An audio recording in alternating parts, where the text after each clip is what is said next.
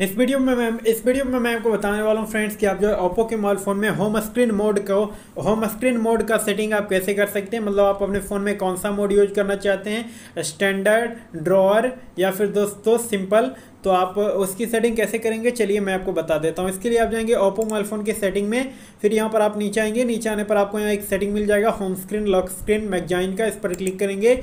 इसमें आपको यहाँ सबसे पहले ऑप्शन मिलता है होम स्क्रीन मोड का। आप यहाँ पर क्लिक करेंगे। तो नीचे आएँगे बाई डिफ़ॉल्ट आपके फ़ोन में ये ड्रॉर मोड सेलेक्ट रहता है तो ये सिलेक्ट रहता है तो क्या होता है कि अगर आप फिंगर को ड्रॉ करेंगे ऊपर की ओर तो देखिए यहाँ पर दोस्तों, आपका जो है ऐप लिस्ट ओपन हो जाएगा। और और जब आप नीचे की ओर ड्रॉ करेंगे तो यहाँ पर नोटिफिकेशन पैनल ओपन हो जाता है।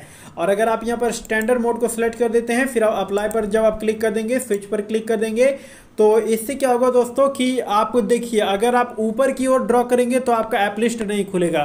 सिर्फ़ अगर आप लेफ़्ट या फिर राइट की ओर ड्रॉ करेंगे लेफ़्ट या फिर राइट की ओर जब आप यहाँ पर स्वाइप करेंगे, तभी यहाँ पर आपके कुछ ऐप्स आ पाएँगे।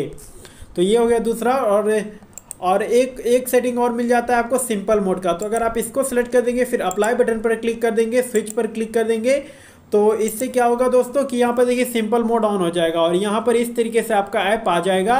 इस तरीके से आप इसे, जो है लेफ़्ट राइट की ओर, जो है स्वाइप करके ऐप को खोल सकते हैं। ऊपर की ओर करेंगे तो यहाँ पर कुछ भी नहीं होगा। तो आप जो भी रखना चाहें, वो आप यहाँ अपने हिसाब से यहाँ पर रख सकते हैं। मैं ड्रॉर ही रखता हूँ अप्लाई पर क्लिक कर देता हूँ। स्विच पर क्लिक कर देंगे ड्रॉर मोड ऑन हो जाएगा। इस तरीके से आप जो ओप्पो के मोबाइल फ़ोन में होम स्क्रीन मोड का सेटिंग आप कर सकते हैं। वीडियो पसंद आया है लाइक करके चैनल को सब्सक्राइब ज़रूर कर दीजिएगा।